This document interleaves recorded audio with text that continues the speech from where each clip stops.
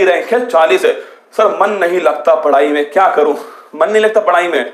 पापा से कहना एक बार कि पापा, मन नहीं लगता पढ़ाई में, क्या करूँ? फिर वो आपको बताएँगे क्या करना है। एक दोस्तों हथियार आता है, क्या? एक हथियार आता है, उसे चप्पल कहते हैं, क्या? चप्पल कहते हैं दोस्तों, दस नंबर की आती है। कितने? दस नंबर की आती है। वो उसका उपयोग करके आपको बताएँगे कि किस प्रकार पढ़ाई में मन लगता है। झ झमाझम तुम्हारे चार पाँच पड़ेगी ना मन नहीं दोस्तों, मन, तन, धन, सब कुछ लग जाएगा दोस्तों पढ़ाई में ना। पापा को ज़रूर बताना आज कि पापा मन नहीं लगता पढ़ाई में, क्या करूँ? वो आपको बताएँगे क्या करना चाहिए ना। हाँ अरे भाई साहब, ऐसा मन लगेगा तुम्हारा, पढ़ाई में पूछो ही मत, है ना।